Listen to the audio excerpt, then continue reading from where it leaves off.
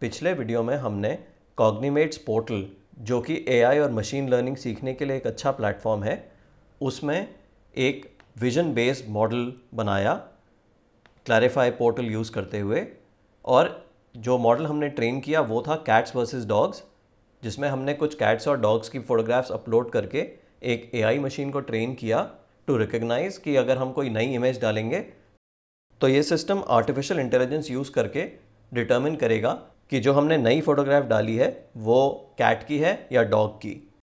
इस वीडियो में हम इस एआई मॉडल को यूज़ करते हुए एक प्रोग्राम लिखते हैं। कॉग्निमेट्स का कोड लैब जो है, वो स्क्रैच पर बिल्ट है।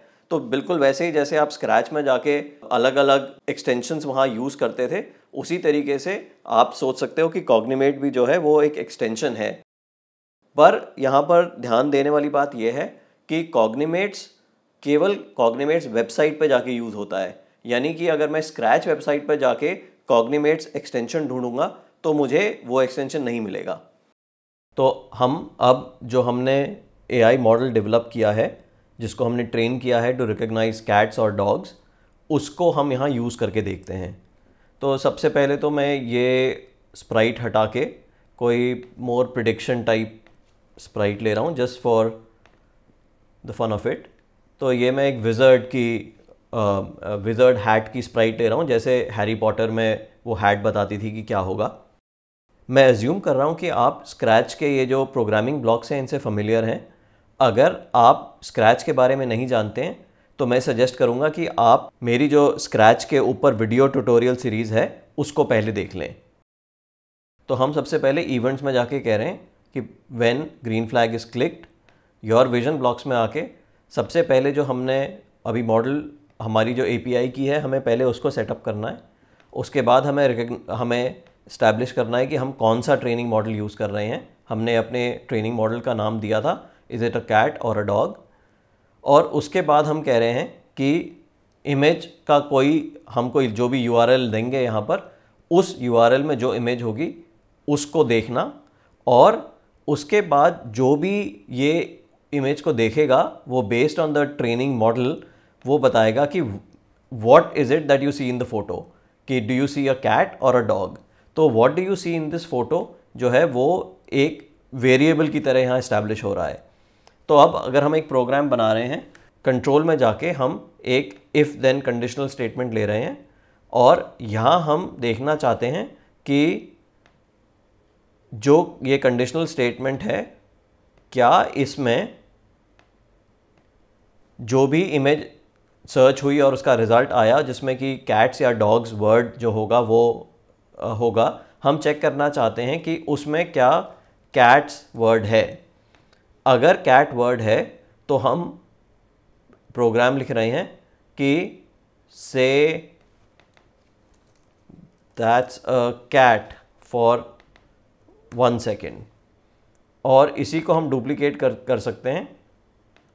और हम कह रहे हैं कि अगर जो भी इमेज हम यूआरएल में जो भी इमेज दिखेगी, अगर वो डॉग है तो then you should say the system will go in say that's a dog for one second तो ये प्रोग्राम को समझते हैं। हम जो हमने क्लैरिफाई में मॉडल को ट्रेन किया है फ़ोटोज़ डाल के कैट्स और डॉग्स की, हम उस एआई मॉडल को यहाँ यूज़ कर रहे हैं। और हम उस एआई मॉडल को ऐसे यूज़ कर रहे हैं कि जब हम यहाँ पे कोई इमेज का लिंक डालेंगे तो ये program based on the API key and the image model देखेगा कि ये जो हमने यू आर एल डाला है, वो कैट है कि डॉग है। तो ये एक कैट की फ़ोटोग्राफ का लिंक है। मैं ये कॉपी करके ले जा रहा हूँ और मैं इसको यहाँ डालता हूँ। तो हमारा प्रोग्राम क्या करेगा? इस यहाँ जो फ़ोटो है, उसको देखेगा। हमारे एआई मॉडल के अगेंस्ट उसको टेस्ट करेगा और बताएगा कि वो कैट है कि डॉग है तो हम इसको रन करके देखते हैं। तो वो मॉडल कह रहा है कि दैट्स अ कैट और लाइक वाइज मैंने यहाँ पर एक डॉग की इमेज का ये यूआरएल है। मैं इस यूआरएल को कॉपी करके ले जाके यहाँ पेस्ट कर रहा हूँ और मैं फिर इसको रन करता हूँ। तो हमारा सिस्टम जो हमने अभी ट्रेन किया है, हमने उसको इस पर्टिकुलर इमेज में नहीं ट्रेन किया है। यही चीज़ समझने वाली है कि ये एक एआई मॉडल पीछे यूज़ कर रहा है कि हम जो मर्ज़ी इसको फोटोग्राफ दे रहे हैं, उसको ये रिकग्नाइज कर रहा है कि वेदर इट्स अ कैट और अ डॉग तो फॉर एग्ज़ाम्पल अगर मैं ये डॉग की इमेज लेके टेस्ट करता हूँ, क्योंकि इस जो, ये जो डॉग की इमेज थी, इसमें काफ़ी क्लियरली डॉग नज़र आ रहा था, पर इस इमेज में डॉग बहुत क्लियर नहीं है, क्योंकि और बहुत कुछ चीज़ें यहाँ पर हैं। तो इमेज बेस्ड एआई को आपको समझने की ज़रूरत है कि ये ह्यूमन विजन की तरह नहीं है कि हमारे को बहुत क्लियरली समझ में आता है, हमारी ब्रेन्स इंटरप्रेट कर पाती हैं कि यहाँ पे मेन चीज़ डॉग है, पर कंप्यूटर के लिए केवल एक बंच ऑफ़ पिक्सल्स हैं और इन बंच ऑफ़ पिक्सल्स में वो मतलब निकालने की कोशिश कर रहा है based on the A I model that we have trained तो अगर मैं इस लिंक को ले जाता हूँ और इस लिंक को टेस्ट करता हूँ तो वो कह रहा है कि इट्स अ डॉग एंड अगर यहाँ पर मेरे पास एक बर्ड की इमेज है, मैं इस लिंक को टेस्ट करता हूँ।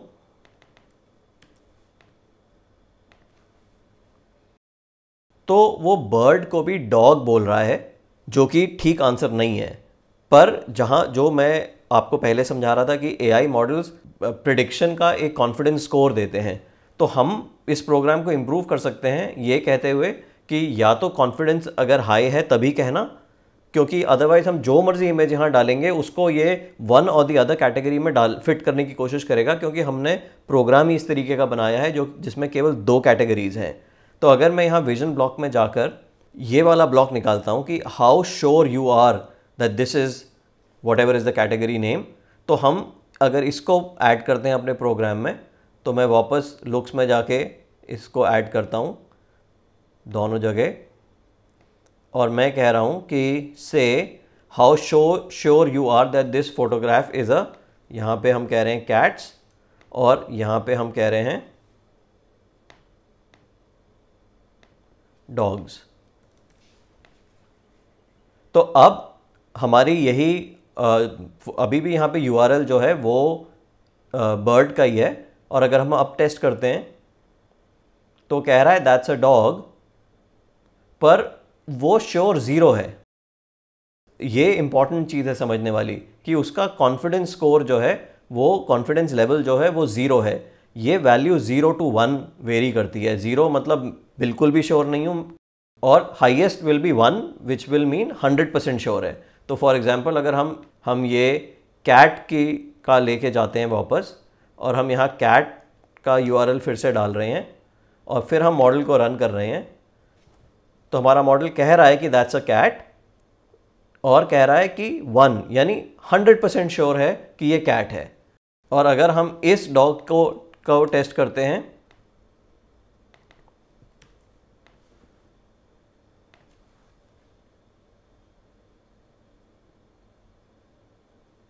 तो वो कह रहा है कि वो 95 परसेंट श्योर है कि ये डॉग है। तो आई होप आपको इस वीडियो से थोड़ा समझ में आया कि AI based system image recognition का काम कैसे करते हैं। और अगर आप आर्टिफिशियल इंटेलिजेंस को और ज़्यादा समझना चाहते हैं तो मैं सजेस्ट करूँगा कि मेरा एक जो आर्टिफिशियल इंटेलिजेंस का वीडियो है, वो आप देख लें, ताकि आपको समझ में आए कि एआई बेस्ड सिस्टम्स और मशीन लर्निंग काम कैसे करते हैं।